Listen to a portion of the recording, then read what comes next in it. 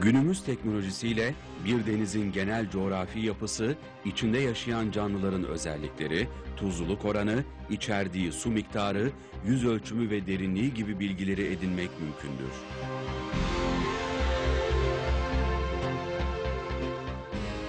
Gelişmiş sualtı araçları ve çeşitli özel cihazlar bu bilgilere ulaşmada önemli rol oynarlar. Bir insanın bu araçlar olmadan 70 metreden daha derine dalması hemen hemen imkansızdır. Bu nedenle bilim adamları denizler hakkındaki detaylı bilgileri ancak çok yakın zamanlarda keşfetmişlerdir. Denizlerle ilgili bir Kur'an ayeti şöyledir.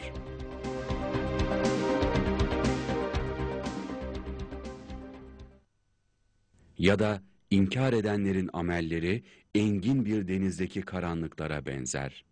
Onun üstünü bir dalga kaplar. Onun üstünde bir dalga, onun da üstünde bir bulut vardır.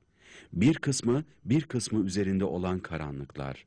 Elini çıkardığında onu bile neredeyse göremeyecek.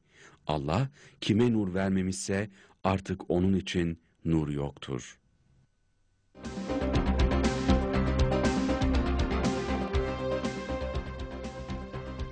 Ayetteki dikkat çekici bilgilerden biri, denizin yüzeyindeki dalganın yanı sıra onun altındaki ikinci bir tür dalgadan bahsedilmesidir.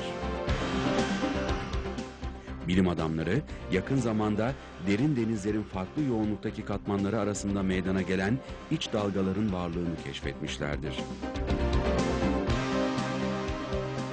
İç dalgalar insan gözüyle görülemez. Ancak belirli bir derinlikteki sıcaklık ve tuzluluk değişiklikleri incelendiğinde bu dalgalar tespit edilebilir. Günümüzdeki teknolojik araç ve gereçler olmadan bir insanın denizin içinde meydana gelen bu dalgalanmalardan haberdar olması mümkün değildir.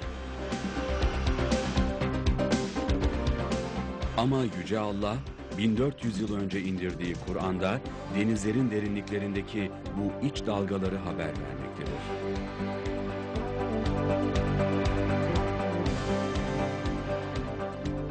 İnsanların derin denizlere dalarak araştırma yapma imkanlarının olmadığı bir dönemde ayette böyle bir bilginin verilmiş olması Kur'an'ın Allah'ın sözü olduğunu bir kez daha açıkça göstermektedir.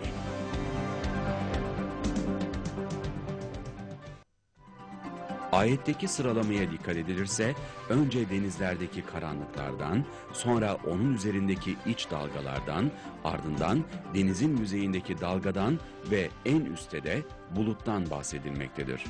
Burada dikkat edilmesi gereken hepsinin altında karanlıkların bulunduğudur.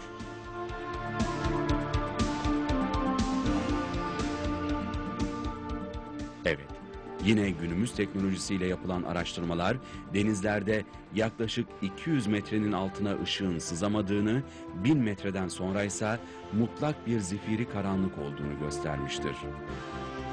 Oysa bu derinliklere gelişmiş su altı araçları olmadan bir insanın inip gözlem yapması, suların karardığını tespit edebilmesi mümkün değildir.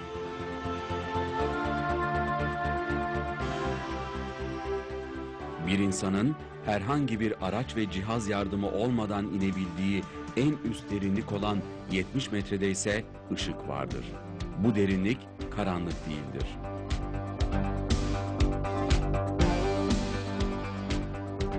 Dolayısıyla Kur'an'ın indirildiği 7. yüzyılda insanların araçsız, tüpsüz dalış yaparak derin denizlerin karanlık olduğu gerçeğini tespit edebilmesi mümkün değildir.